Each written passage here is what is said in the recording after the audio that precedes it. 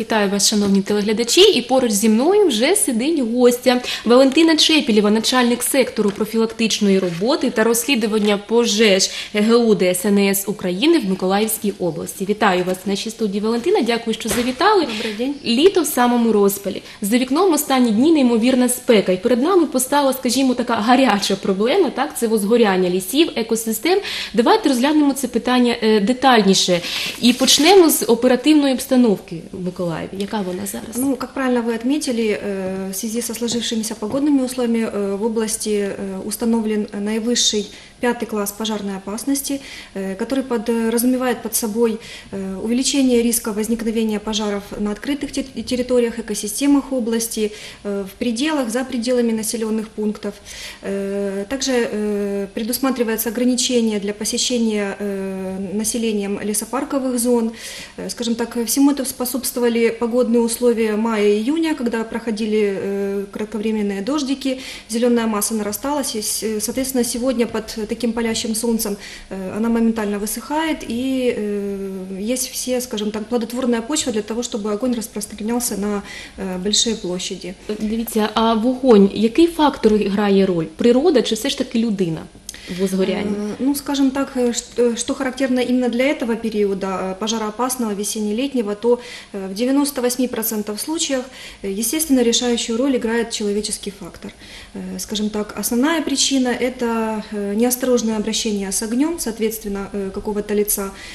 Если, скажем так, не будем говорить это терминами из нормативных документов, да, то это банальная человеческая халатность, недбалость, игнорирование элементарных норм безопасности. И эм, можно также даже э, это ограничить как э, определенная культура поведения, или вернее э, отсутствие культуры поведения. Что дает поводы так судить? То, что наиболее проблемные участки зоны, которые сегодня подвержены риску возгорания, это автомобильные трассы, Соответственно, ну, банальный пример, проезжающий из э, автомобиля водитель э, выбрасывая через окно окурок, Э, здесь же сухостой уже под палящим солнцем, скажем так, готов, огонь начинается на обочине дороги, перебрасывается на лесополосы, на поля, и масштабы пожара увеличиваются, растут, и, соответственно, скажем так, силы и средства, э, необходимые для его ликвидации, э, достаточно огромные. Багато не потрібно, да, і за одного недопалка можуть масштабні такі території. Еще один аспект, э, скажем так, человеческой деятельности или халатности, это да, э, у нас э, рост пожаров приходится на выходные праздничные дни. Соответственно, в те дни, когда э, люди организовывают свой досуг, выходят опять-таки под, т- в такие погодные условия э, ближе к воде, к э, каким-то местам, где можно укрыться от э, жары, э, ближе к э, рекам, э, в парковые зоны, э, оставляют, к сожалению, после себя следы своей деятельности, э, те же э, воз- возгорания, очаги, костры, э, либо не принимают все необходимые меры для того, чтобы э, этот костер э, не возобновился. И, соответственно, также фиксируем количество пожаров, э, растущее количество пожаров э, на, на этих территориях. То есть э, фактически, э, да, человеческий фактор здесь э, Такий пре- більшу роль преобладающий. грає, так? Да, да. У нас є відео, я прошу режисерів поставити, а ми його прокоментуємо, так, що ми побачимо на цьому відео. Тож, будь ласка, ось що це ми бачимо зараз. Э, Значит, э, здесь происходит э, ликвидация пожара. Вы видите, что уже э, площади и масштабы э, переросли в несколько гектаров. Э, Значит, ближайшее, видите, вот пр- проезжающий автомобиль, трассы, э, возможно, одной из причин опять-таки стало это брошенный окурок. Значит, э, что характерно для этих пожаров и в чем, в общем-то, сложность заключается для их тушения и ликвидации?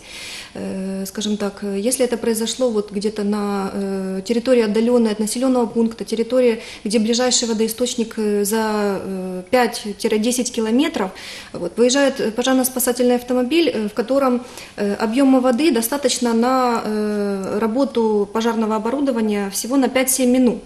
Соответственно, заканчивается вода, и необходимо колоссальные принимать оперативные тактические решения, э, скажем так, как дальше э, ликвидировать э, этот пожар. Поэтому привлекаются дополнительные сила и техника сельхозпредприятий, скажем так, неравнодушных жителей наших, нашей области, подразделения добровольной пожарной команды, да местное население часто берет в руки лопаты, вет- ветки деревьев и, и принимает также участие в ликвидации. Такой пожар недавно у нас был в Корабельном районе, э, в микрорайоне Кульбакина, где площадь составила э, более 30 гектаров возгорания. Тогда, площадь, да, да. да, да, тогда по э, вызову сбор авария был поднят весь личный состав оперативно-спасательной службы всего города.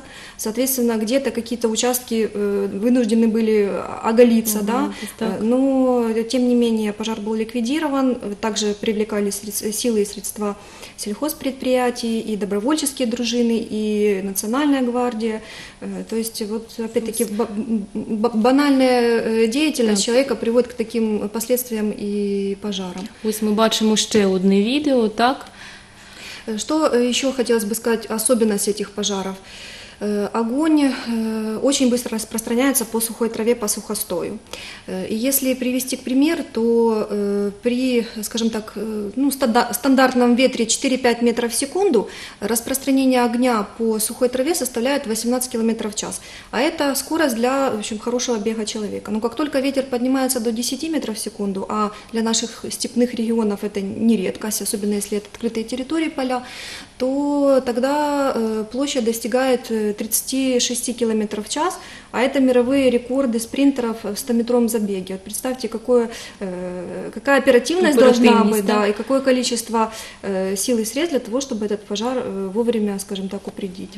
Валентино, дивіться, ми сказали, що е, більший фактор людський, але природні ми не виключаємо. Так? Яка має бути температура для того, щоб возгорілось самостійно? Трава чи стерня?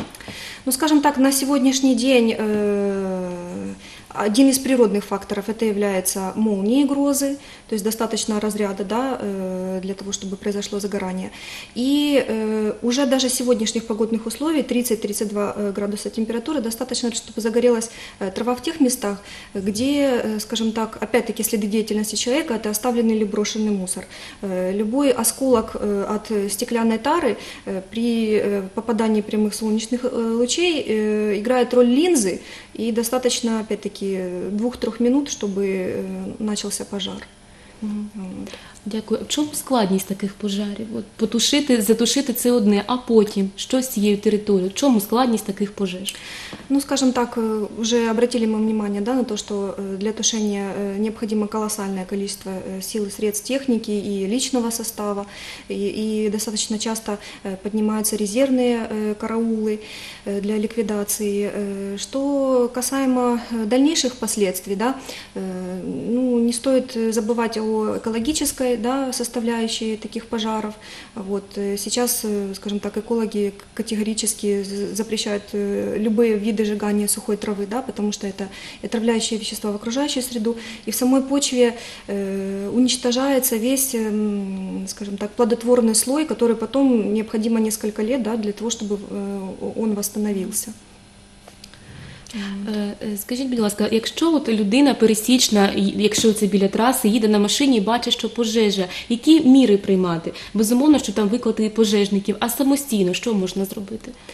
Э, Ну, скажем так, э, любой пожар можно потушить, э, ну, скажем так, не, не- неопределенной характеристики, то есть не электроустановки, либо еще, скажем, какой- какой-то категории. А пожар на открытой территории можно потушить и собственными силами. И вы правильно отметили, что проезжающий автомобилист, да, увидев загорание, я думаю, это долг каждого остановиться, остановиться, да, и, ну, скажем так, помочь и принять все меры для того, чтобы этого не произошло. Ну, будем говорить так, если э, загорание э, небольшое, вы видите, что можно справиться своими силами, да, э, остановив еще пару автомобилистов. Э, У кого-то, возможно, в машине есть подручные средства, там, Вода, та же лопата, вода. лопата, так? Э, Элементарно, э, скажем так, сломанная ветка с дерева из ближайших э, лесополос. Э, Есть такой метод тушения, это как забивание огня, то есть как, как веником э, можно бить по пламени, и оно не будет распространяться. Вплоть, опять-таки, подручные средства, какие-то скажем, ненужные вещи и тому подобное. Всем, ф- ф- можно пробовать всем и пытаться всем. Главное, чтобы, опять-таки, это э, чувство э, солидарности, чувство ответственности да, за, окру- за спасение окружающей с- среды э, ну, было в каждом. И, э, Головне, и- так, не бути да. байдужим Не і, бути і не, не байдужим. проїжджати мимо. Скажіть, будь ласка, ось е, люди, хтось кинув недопалок, хтось залишив якийсь безлад після себе. Чи є якась відповідальність за це? Э, Естественно, есть, и в законодательстве Украины предусмотрено э, все виды ответственности, начиная от административной, заканчивая криминальной. Э, То есть, опять-таки, действие или бездействие человека в определенный момент может привести к тому, что он понесет за это ответственность. Так, в административном кодексе предусмотрена э, ответственность по статье 77 примечание 1 э, за сжигание стерни и послежнивных остатков без э, э, разрешения на то соответствующего органа. Вот. Также есть э, предусмотрена и криминальная ответственность за э, такие действия.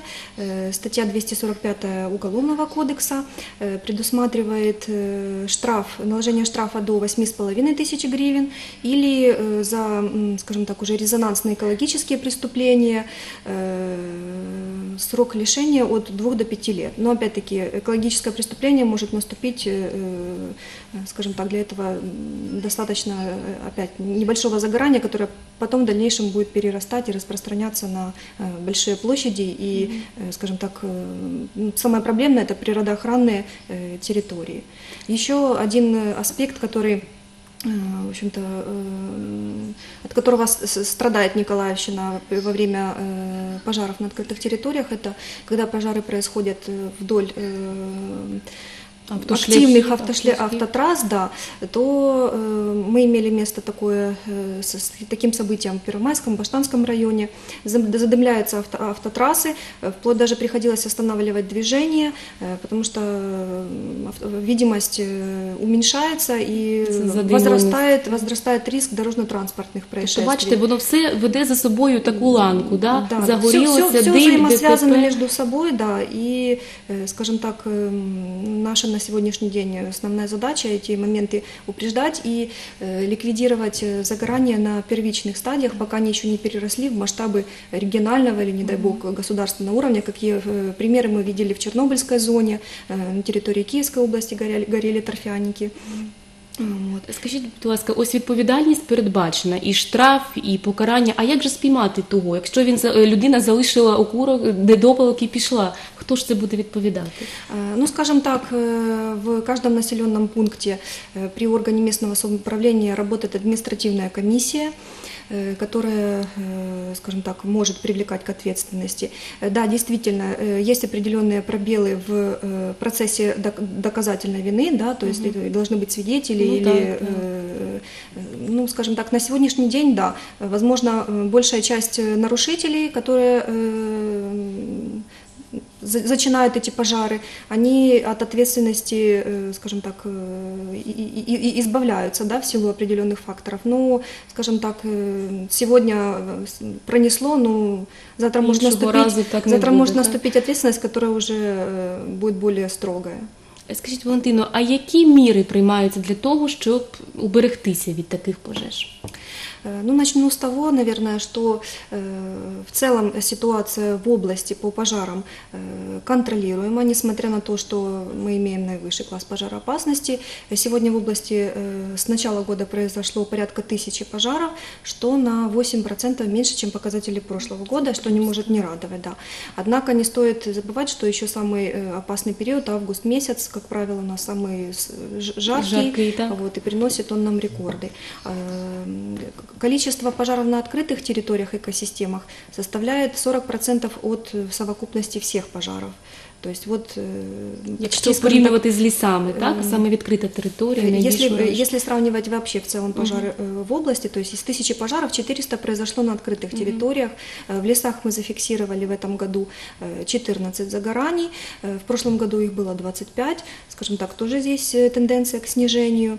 Э, Также были э, зафиксированы пожары на сельскохозяйственных э, полях, но, к счастью, это было не э, сельскохозяйственные культуры на корню, а э, стерня, И вот, кстати, в пятницу жители микрорайона Намыв могли наблюдать зарево со стороны Николаевского района. Да? То есть такие пожары, еще один момент, э, вызывают э, огромный ажиотаж среди населения, потому что сразу же растут э, догадки, выдумки, что там говорит, что это полыхает. Багато версій, так? Да, да, Хтось много версий, да, поэтому наша оперативно-координационная служба принимает, э, скажем так, шквал звонков вот в случае таких резонансных пожаров, а что, а где, каждому объяснить и каждому информацию дать э, ну, детальную, оперативную Детально. и успокоить. успокоїть. Вот. Дякую, Валентино, що так детально нам розказали ситуацію. Е, І у вас є змога звернутися до наших телеглядачів. Э, Естественно, в, скажем так, в этот период наивысшей пожароопасности э, обращение будет э, только одним. Будьте осторожны, одумайтесь перед тем, как, скажем так, в таких условиях пользоваться открытым огнем. Особенно это касается граждан, которые находятся на дачных, садовых участках и, скажем так, часто занимаются сжиганием. Вот. Что хотелось бы еще в преддверии, вернее не в преддверии, а в период летних э, каникул обратиться к родителям, э, быть э, внимательными, организовывать досуг своих э, детей, э, поскольку, э, скажем так, э, именно этот период э, определяет э, определенные риски для э, жизни и здоровья детей, так как э, в том числе и пользование огнем, э, нередки у нас пожары э, на сегодняшний день из-за детской шалости, э, а также э, имеем факты гибели детей э, на водных объектах. Поэтому еще раз быть э, внимательными, осторожными, следить за своими детьми и беречь свою жизнь. Дякую за змістовну розмову. Дякую вам. Отже, у нас в гостях була Валентина Чепілєва, начальник сектору профілактичної роботи та розслідування пожеж ГУ ДНСН ДСНС України в Миколаївській області.